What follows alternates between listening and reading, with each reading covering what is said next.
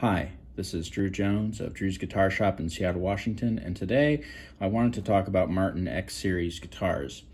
Um, this is going to be an opinion video. I tend not to want to make a lot of opinion videos because, you know, they're opinions, everybody's got them, you know, they're, they're like assholes, you know. Um, this is going to be a lot of my opinions as a repair person, um, which won't necessarily um, be the same as uh, the opinions of players uh, and folks out there who are actually like, you know, buying these guitars to, to use.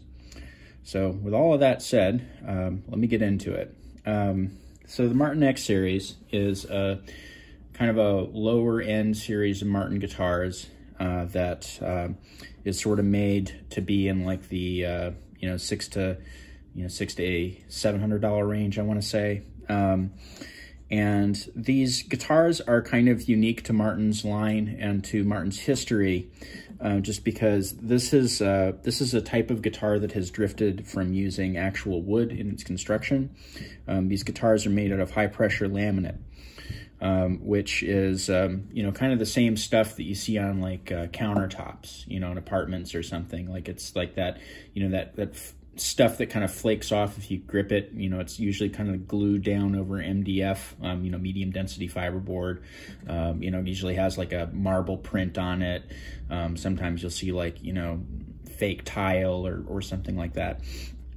It's plastic, basically. It's like a fibrous, um, you know, pressed material with resin and other stuff in it, but it's not wood.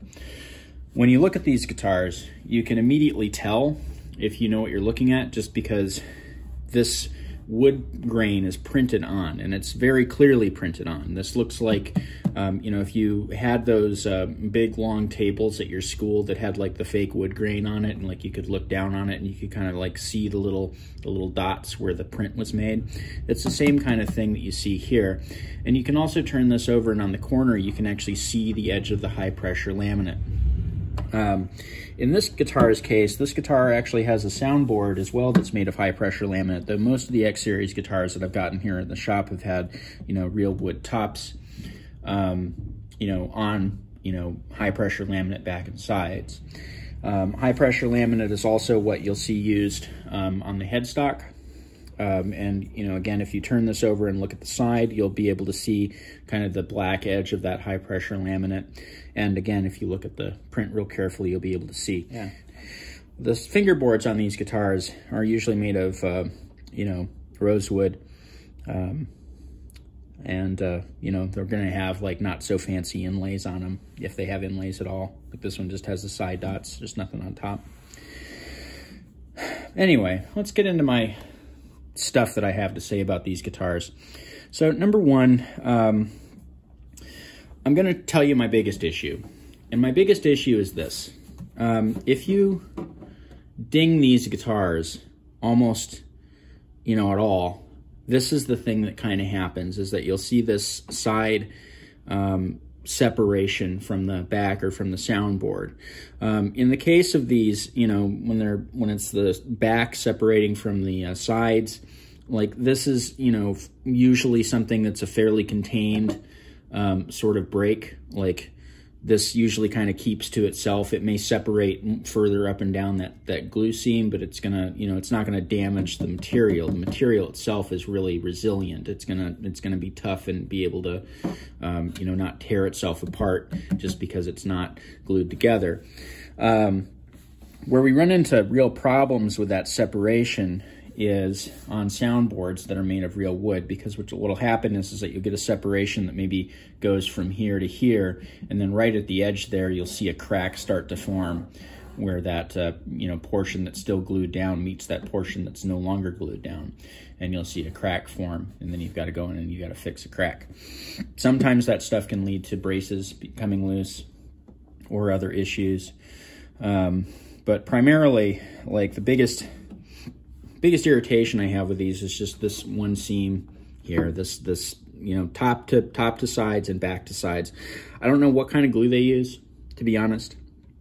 Um, all I know is that um, I have gotten this repair in um, perhaps more than any other repair on any Martin guitar. Uh, it's always these X series guitars, and it's always the same thing. Like they've always taken it, they've taken an impact, they've been set too set down too hard on a floor, um, you know, and you know this is the kind of thing that happens as a result. It's just that these let go and they become unglued, and I've got to go in and I've got to reglue them. I've done so many of these at this point that like I've got a procedure down for just you know when this comes in because this is just so common to see. Um, again, I don't know what kind of glue they're using, um, but maybe, I don't know, if somebody from Martin is watching this, maybe you want to re-explore what you're using. Um, generally speaking, if you're going like, you know, to a material that's not wood, like this high pressure laminate stuff, I would maybe think about using something that isn't meant for wood, maybe. Um, you know, I'm I'm not there. I'm not at your factory. I don't I don't necessarily have a whole lot of feedback to go on, except for that I know that when I worked for Rainsong guitars, we didn't use glue that wasn't meant to go on carbon fiber because our guitars are made out of carbon fiber. So like wood glue had no place in that factory because none of the things that we were gluing up were going to be you know wood to wood joints. So you know we used epoxy, which is not necessarily the best thing to use for um, guitars that are meant to get repaired. I don't know if I'd recommend that in this case, because like a carbon fiber guitar, you're probably never going to have to get in there and do anything to it, because it's just not gonna, it's not gonna move. It's you know, it's really hard to break anything in that guitar. Um, you know, in this case, this stuff might move, this stuff might break. And so, like, I don't know if epoxy would be the best thing, but maybe something other than just like, you know, aliphatic resin, you know, yellow, yellow wood glue would be the thing to use here. Uh, now, when I glue these here, um, I do use aliphatic resin because that looks to me like what's being used here in this joint. Um, I have a special way that I clamp these um, and some things that I do to kind of help keep this joint in place after I do that repair. And when I do these repairs, I don't tend to get the guitars back. Um, so, you know, whatever I'm doing is, is, is working on these. Um, and, you know, basically what it comes down to is that I, I clamp these very, you know, kind of loosely and I leave a lot of space in there for that glue to kind of fill in and, and, and create kind of a, uh, kind of a, a uh, I don't want to say a gappy joint because that kind of leads to the wrong sort of conclusion, but a little bit of space um, for that glue to exist. Um, that may be more than we use in a, in a straight glue joint, um, wood to wood. So that's my big beef with these is, is this separation. And, uh, you know, I think we've covered that. Um, I want to kind of go into one of the other things that I see from these guitars, and this is I'm doing this video because this guitar has everything going on in it that I see in these X series. And that's this kind of thing. This is a hole that's been punched through the side. And I see this an awful lot on these guitars. It'll be either something like this or it'll be like a, a, a big nasty crack that kind of goes through and looks kind of like broken glass. And, you know, it doesn't crack like wood. It, it cracks like you know, high pressure laminate. And so getting in there and fixing that stuff is really hard to do. Since it's not wood, I can't really cut a wood patch and just go in here and repair that. This is, this is, Mike, this is, this is like tens of thousands of inches thick, this, this die on here that, that creates this print. And so if you go in here and you try to do any sanding at all to get like a little wood plug flush with that, you're going to go right through that print and you're going to you're going to see it and it's going to go down through to some other thing that's either like black or brown or whatever, but it'll look awful. Um, so like when I get these things in and they have these holes punched through them, you know, if there's material for me to work with there, um, I can do a fix to this that's not anything related to a wood fix. Um, I will use kind of a more carbon fibery repair. I will get some um, get some fibrous material and I'll impregnate it with resin and I'll slip that in there and kind of put it against that material after I flattened it out the best that I could and gotten it to lay as best as I could.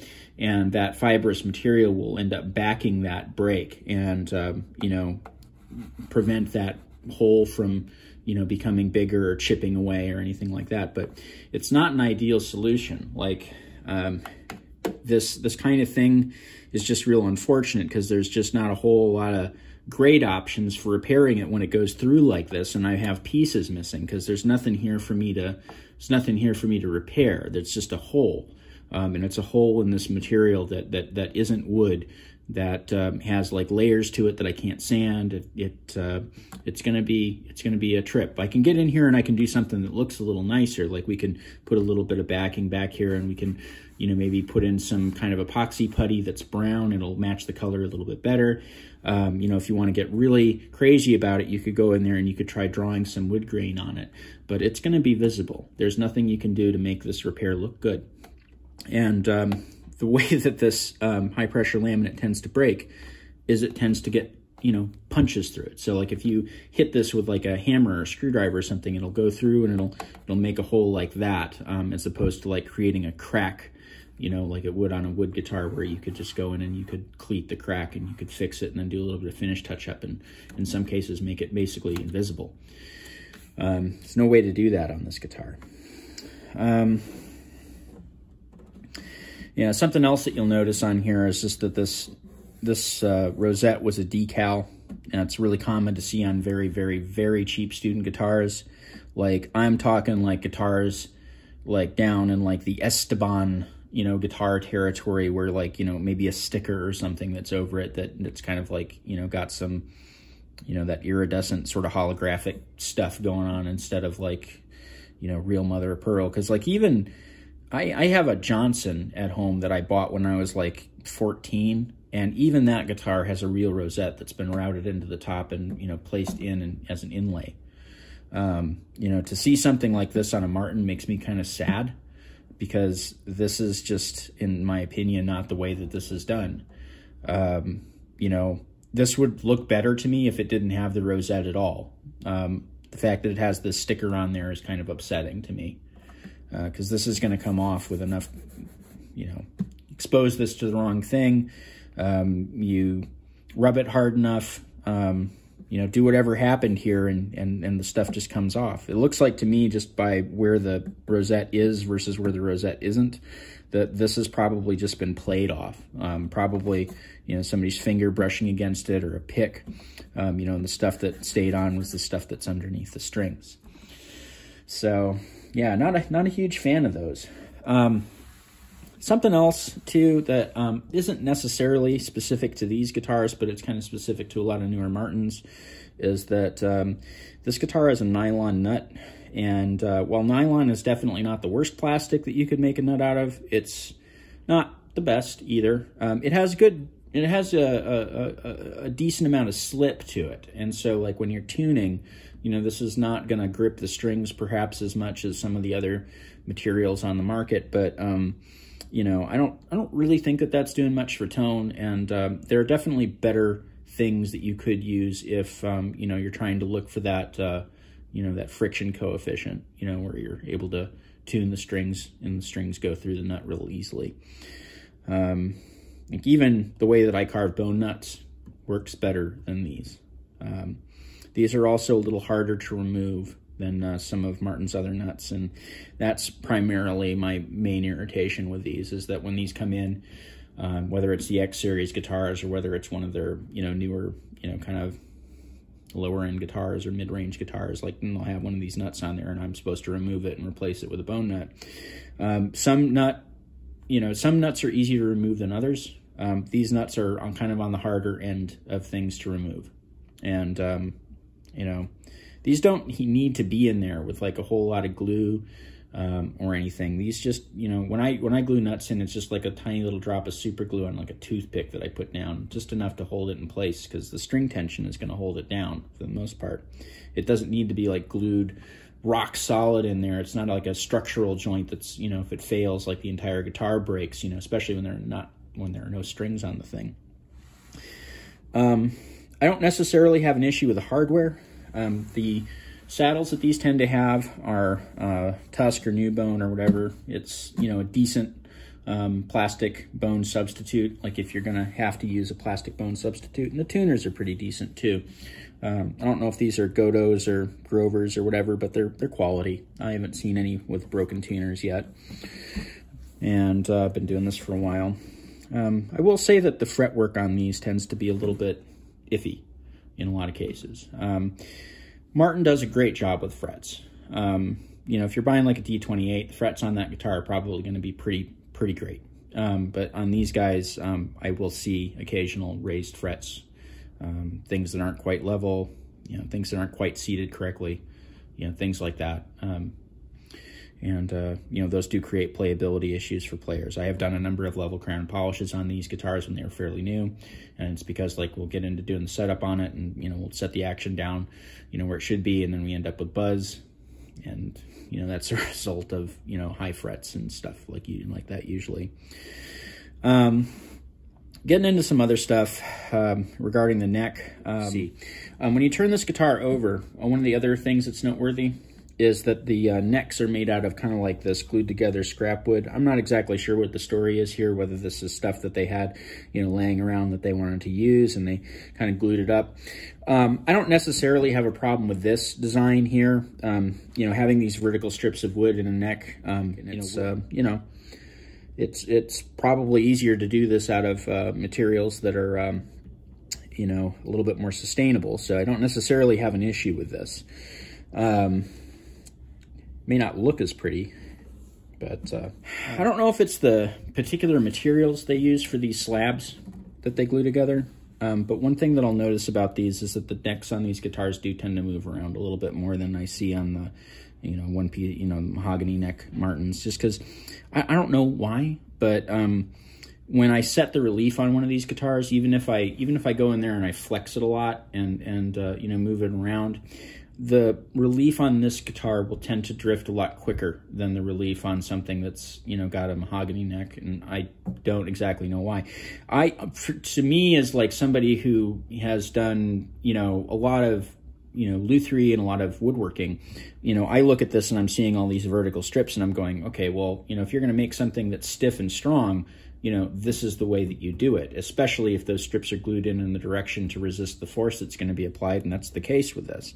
So I don't know exactly what's going on there, um, but that's in my experience, that's that's something that these guitars do, is that we'll set the neck relief and then it'll move, and I don't know why. Um, to me, this looks like it should be something that doesn't move, but it does. So, you know, do with that information what you will. If somebody's able to explain that to me, leave it down in the comments. I it may be just that this is some kind of softer wood. I don't know. Um, it's this may not be. Uh, it's hard to tell, you know, in strips this small, and it almost looks like different kinds of woods are being used. Like this one here looks like it might be mahogany. This one here looks like it might be, you know, something else. This one over here looks like it might be something else. I don't know, um, but I do know that um, I do know that these necks move around a little bit. So.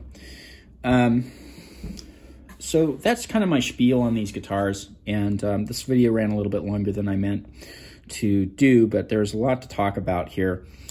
Um, as far as like whether or not I'd recommend these guitars, um, you know, if you find one that you that you really like and it's within your price point, and you just really really want to have a Martin, particularly if it's one of the ones that has a solid soundboard, go for it.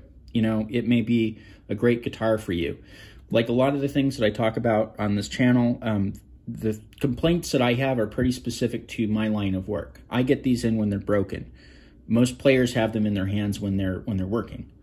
Um, and I don't know necessarily that the amount of guitars that I see come in here with this particular issue is representative of like the number of these guitars that that actually happens to. Um, but I do know that when these guitars come in, they have a very specific set of issues that are only common to this kind of Martin.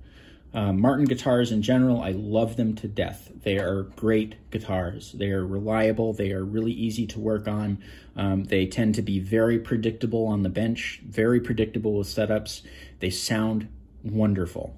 Um, these guitars also have the capability of sounding wonderful. It's just the way that these break is very particular and in some cases harder to fix than something like a D28 or, you know, whatever it is that you're looking at. Um, so again, don't necessarily want to talk anybody about out of buying one of these guitars, but if you do, um, this is a video that maybe will help you make a more educated choice um, regarding that. This has been Drew Jones of Drew's Guitar Shop in Seattle, Washington. If you liked this video and you found it helpful, you can kick me a few bucks on Ko-fi or uh, Patreon. There are links in the description. Like, subscribe, all that stuff. Um, link to your friends if you got friends that are into this kind of thing. In the description, you'll also find a link to my reverb page where I sell some instruments. and uh, some other stuff. And you'll also see a link to my website that has the, my contact information, my price uh, list for repairs, as well as a page that I wrote up on caring for stringed instruments. And if you're here watching this video, I'm going to guess that you might have a few stringed instruments laying around the house that you're caring for. So that might, page might have something for you. Anyway, um, this has been Drew Jones of Drew's Guitar Shop in Seattle, Washington. Thanks for watching.